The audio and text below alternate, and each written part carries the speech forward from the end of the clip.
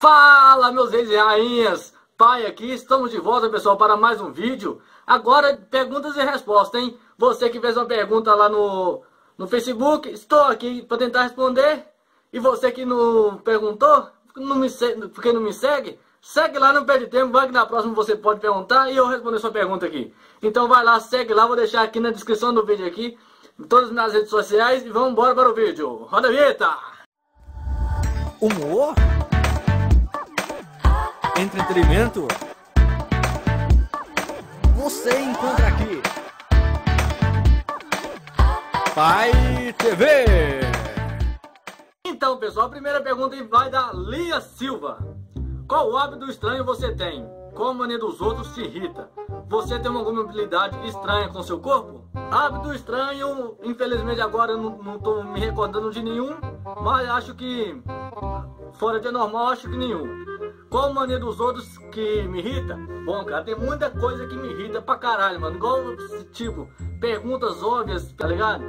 Me irrita pra caralho, igual as pessoas vão lá e cai lá, rala todo lá e chega o cidadão lá pergunta: Você machucou, meu filho? Isso me dá um ódio, cara. Porra, mano, sério mesmo. Se você faz isso, para, mano. Na moral, cara, é muito chato, mano. Se eu tenho alguma habilidade estranha com o meu corpo, também não tenho merda nenhuma. Nenhuma, nenhuma. Eu sou um merda, meu irmão. Não tenho habilidade porra nenhuma. Nem habilidade boa que eu não tenho. Imagina uma habilidade estranha. Tô fora, eu sou zero. Esse é o tal do Mula. A outra é meu Danley Gonçalves. Ele diz o seguinte. Não é pergunta e nem xingar não. Quero que você cante a música O Samara, O Samara. Cara louco, mano. Olha eu cantar, mano, você é louco? Sim.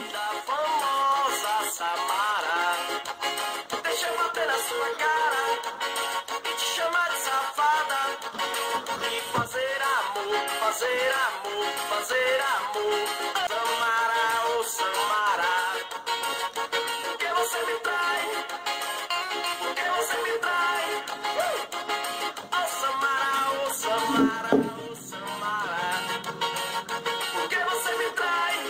É Danley, eu não vou cantar, cara, porque você tá ligado, porque tá ligado que minha voz é ruim pra caralho, mano. Eu não vou fazer esse mico aqui não, mas você não valeu aí, ó. A próxima pergunta vem aí do Maxwell Jonathan. Explique por que a água não é molhada. Irineu, você não sabe nem. Caralho, mano, sei não, mano. Isso é só Deus pra responder mesmo. Aí que você tá doido? Não consigo responder isso não, mano. Eu sou burro pra caralho. Terminei mal, mal e o pré-escolar. Vou saber por que a água não é molhada. Você é doido? Mas valeu isso aí, meu Maxwell. Próxima pergunta é do Luiz Felipe PJL. Pera aí. Ô doido. Luiz Felipe é não é do irmão do, do Gleison, é, é, o Pingola? Isso, é isso, é ele mesmo. É, não é? Então é isso aí mesmo, é isso mesmo. A pergunta do Luiz Felipe foi a seguinte: Qual foi o seu maior mico? Manda salve pra Ipatinga. Salve aí, Luiz Felipe, e pra todo o pessoal de Ipatinga, é um pessoal muito da hora aí, ó. Salve aí. Qual foi o meu maior mico, cara? Tipo, eu acho que eu até fiz um vídeo aqui já, um grande mico eu passei no hotel uma vez, que eu fui fui passar uma noite no hotel lá, fui lá na recepção pedir a senha do Wi-Fi, cara, tá ligado? Aí o pessoal me falou que tava na, atrás da chave, mano. Aí eu, besta, fui colocar a senha lá atrás da chave. E a resposta tava realmente atrás da chave, uma treta. Vou deixar aí no link da descrição aí qual, qual esse mico que eu tô te falando e qual o vídeo que é. Mas isso aí, Luiz Felipe, ó, obrigadão pela sua participação. Deus abençoe, um abração, hein, cara. E a próxima pergunta aí, pessoal, é da Jennifer Kathleen Oliveira. Ela diz o seguinte. Oi, queria saber o porquê e quando começou a vontade de gravar vídeo e criar um canal. E como foi fazer o primeiro vídeo. Qual a sensação? Manda salve. Que pouco sabe, o real motivo que eu comecei a gravar vídeo foi por causa de um, um trabalho na escola. Porque, tipo assim, a professora passou um trabalho na escola pra gente apresentar pra turma. E, tipo, eu sou uma pessoa extremamente nervosa e tímida. Chega pra falar com alguém que eu não conheço, principalmente em público, fico extremamente nervoso. Até pra gravar vídeo aqui, eu começo a gaguejar pra caralho aqui, paro, regravo de novo, sabe? Porque é, muito, é gagueja pra caralho, muito nervosismo pra uma pessoa só, entendeu? E tipo, graças a esse trabalho, que eu comecei a gravar um vídeo, porque a professora percebeu que eu tinha certa dificuldade para me comunicar, para me, né, pra conversar com outras pessoas, me deu uma dica assim de treinar mais a fala, tá, tá sempre frente do espelho, praticando fala, entendeu? Certas coisas como essa. Aí eu pensei comigo, vou ficar na frente do espelho falando sozinho. Aí, eu, aí que veio, passou na minha cabeça a ideia de gravar vídeo para postar no canal e assim eu pratico, quem sabe o melhor, o concerto vai ser bom pra mim E assim eu posso, como eu gosto de fazer muita gracinha, eu faço gracinha, quem sabe arranca a risada de alguém, deixa o dia de alguém um pouco melhor, não é verdade? Aí deu passou ter na minha cabeça, pô, vou fazer um canal, cara, que eu vou vou fazer uma coisa que quem sabe vai ser uma vantagem pra mim no futuro e tipo, eu vou estar um pouco melhor, vou estar falando melhor, e vou estar treinando isso e quem sabe quem sabe dar certo aqui também, porque o canal também, porque é o seguinte, você pode ver a. Como se diz, né? O seu desempenho, se você tá na mesma medo, se você continua. É, se você tá melhorando ou não. Aí passou isso na minha cabeça, que eu vou fazer um canal por isso, entendeu? Por causa desse trabalho. Aí o canal tá aí, graças a Deus. Como foi fazer o primeiro vídeo? Porra, velho, tipo, o primeiro vídeo foi até que o. A diferença entre eu e minha mãe arrumando casa, que o meu único vídeo que teve mais de 2 mil acessos. Cara, Aquele vídeo foi tipo assim, eu cheguei em casa nervoso pra caralho, sabe?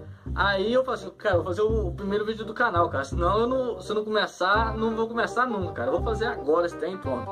Aí eu fui lá, peguei a cama lá, fiz a bobagem toda lá, graças a Deus lá. Aí, cara, mas eu fiquei extremamente nervoso. Aí depois que eu terminei, editei, eu falei assim, cara, que merda. Não vou postar isso. Mas eu falei assim, quer saber? Foda-se vou postar e postei lá, graças a Deus já chegou 2 mil acessos lá. Eu sei que não é grande coisa, mas, né, pra uma pessoa que tá aqui, né, besta igual eu, chegar isso aí já é um grande avanço. Quem sabe aí cresce mais ainda, né? Mas é assim que foi a história do canal. Espero que tenha gostado. Salve, hein, gente? E a próxima pergunta é da Silmara Santos. Ela diz o seguinte: O que acha que é o maior problema no mundo hoje? O que acha que as pessoas devem fazer sobre isso? O problema no mundo hoje, no meu ponto de vista, principalmente no Brasil, é a corrupção do governo e dos nossos governantes aí e, e o, caralho a quatro, né? Mas a maior de todas aqui, o maior, o maior problema do mundo, todas a parte do mundo, são a falta de carinho com o próximo, a falta de amor, sabe? O problema mesmo é a violência, cara. E o que, o, o que as pessoas podem fazer sobre isso é ter mais carinho ao próximo, dar um olho para uma pessoa que, né? Você vê que precisa, que tá triste, dá um oi, dá um bom dia, dá um abraço, que isso vai mudar com certeza o dia da pessoa. Vai melhorar a isso, assim vai, vai se passando pra frente assim, sabe? E devagar, devagar assim, as pessoas vão melhorando, sabe? E pra mim é isso, cara. O que falta no mundo hoje aí é mais é carinho com o próximo, amor, deixa de guerra, chega de isso, cara. E também a outra coisa que acaba com o nosso com, com o mundo é a desigualdade social, cara. Chega um, um eu fico reparando aqui, cara. Chega um riquinho assim, as meninas dói a cabeça aqui, ó. Ah, tem dinheiro, eu quero ele, ah, não sei o que, me chupa eu. Eu quero seu corpo nu, tal, não sei o que. Eu, caralho, a quadra. Igual vai um pobre pra você ver, cara. Igual eu aqui, um ajudante pedreiro, graças a Deus aí, ó. Fica desfazendo a gente, cara. Mas, né. Posso fazer o quê? É, é isso que tem na cabeça da sociedade, cara. Que que o que tem mais dinheiro, que tem mais condição financeira, então, tipo assim, pode dar uma vida melhor. E nem sempre é verdade. E aí, pra mim é isso, cara. Que deve ter mais carinho com, a, com, com o próximo. Igual aqui na nossa, nossa cidade, que tem uma pessoa que maravilhosa, extremamente maravilhosa. É, você vê, a Auxiliadora Santos, a mãe do Paulo Vitor, o dono do canal PV Entretenimento. Cara, ela se encarrega no, de se encarrega do, de ficar o ano inteiro arrecadando fundos para fazer uma festinha aqui para nossas crianças aqui, sabe? Ela vai lá, arrecada o dinheiro, faz é, cachorro quente para criançada, refrigerante, é, aluga brinquedos para criançada, assim, o dia inteiro, sabe? Tem, brin tem brincadeira, com presente, assim, cara. Isso sem interesse nenhum, cara. Isso eu acho, assim, sabe? Uma coisa que se cada um de nós fizesse um, um pouco, sabe? Mudaria o mundo com certeza. Eu gostaria de mandar um abraço para ele e parabenizar pela sua iniciativa. Que Deus a proteja muito, que, que, que você merece. Seja feliz, senadora. E é isso aí. Um abração para ela. E um beijo para você, senadora. E para você também, Silmar. Obrigado pela participação, hein? A próxima pergunta é dela, hein? Da Carolina Stephanie. Ela diz o seguinte: Maninho, qual é seu maior sonho e seu maior pesadelo? Eu quero que tu cante aquela música do Whindersson. Acho que você sabe qual. Manda salve. Salve Carolina Stephanie, meu maninho do coração. Meu maior sonho, cara, foi eu lembro que uma vez eu sonhei tanto que eu cheguei. eu, traba, eu tava trabalhando assim, sabe? Nesse dia o serviço foi muito pesado, cara. Aí cheguei em casa, 4 horas da tarde, tomei um banho, sabe?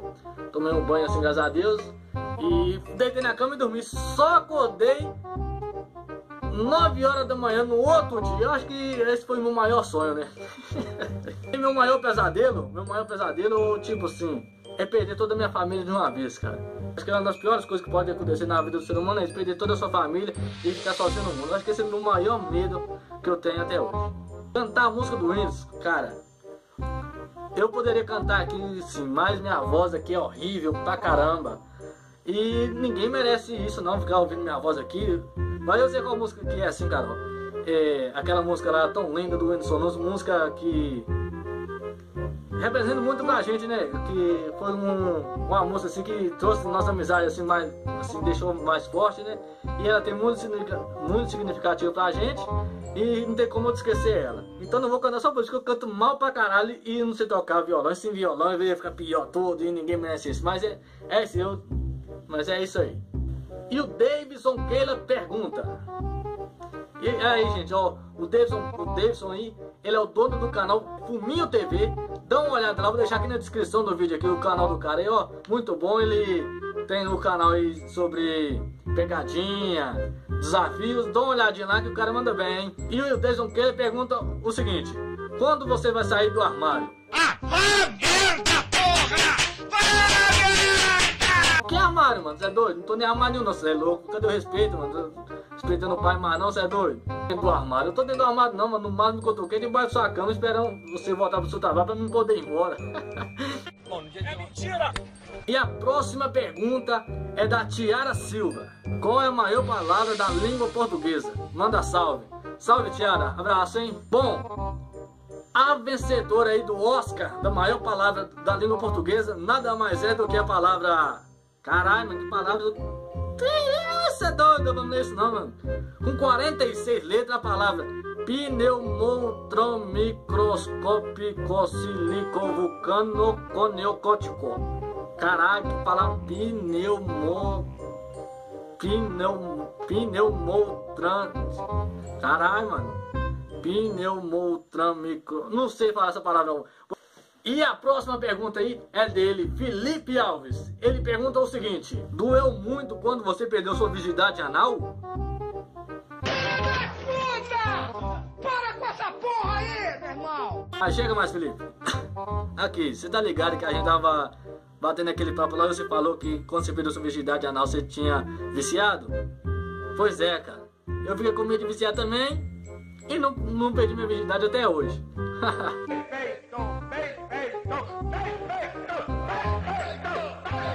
Bom, e o Maxwell Jonathans fez outra pergunta, fez outra, outro comentário lá, hein? E o comentário dele foi o seguinte: Pai, faça um documentário sobre as tanajuras. Tanajura, o que eu entendo por tanajura é o seguinte: Bom, as tanajuras são denominadas aí saúvas pelo seu nome científico, conhecidos aqui na nossa cidade como tanajura, e os machos são conhecidos como zangão. E mas, mas o nome científico também é por bitu, se eu não me engano. O ciclo da tanajura ocorre nos meados de outubro e novembro no clima quente, depois de, de chuvas, depois de tempo de chuva muito forte, elas saem do, dos, seus, seus ninhos, voam para o, a, o voo nupcial, ou seja, onde vai ocorrer o acasalamento. E, exatamente. O, as tanajuras se reproduzem, se acasalam, voando, cara, voando. Você vê que coisas é chique pra caralho, mano. Aí eles, elas voam, os machos vão lá atrás, se acasalam, enche, é, deixa o seu esperma na tanajura e a tanajura, quando você recebe o esperma e é fecundada, ela pesa e cai no, no, no solo e, e começa, você pode reparar que ela começa a cavar. Ou seja, ela cava um buraco para poder se reproduzir, cara. Ou seja, você come tanajura, um dia de tanajura aí, ó, você tá comendo esperma de zangão, hein? Você tá comendo esperma, cuidado pra não acreditar, hein, velho. E outra coisa interessante que eu achei pra caralho, que eu não queria ser zangão por raça nenhuma, cara, porque é o seguinte, zangão quando faz o seu primeiro sexo, digamos assim, ele, depois de 9 horas, ele morre. Entendeu? Ou seja, a vida do Zangão é uma merda, cara. Faz o sexo uma vez só, morre, acabou, fez, ó. Acabou, morreu. Igual eu, mano. Se, se eu fosse o Zangão esse dia, eu tava morto pra caralho, mano. Então, pessoal, o vídeo foi esse aí. Espero que vocês tenham gostado. Me desculpe, o vídeo não ficou tão bom, porque eu fiz o vídeo... Que isso? Sai, Satanás! Me desculpe, pessoal, se o vídeo não ficou tão bom, porque eu fiz na correria e eu aproveitei o tempo aqui livre aqui para fazer esse vídeo para vocês. Se vocês tiverem gostado, mesmo se tiver gostado, deixa aí, ó, o seu like, tá ligado? Deixa o seu joinha aí, aqui embaixo, aqui embaixo, isso, não vai te custar nada, cara, não vai te custar nada, não vai pagar nada.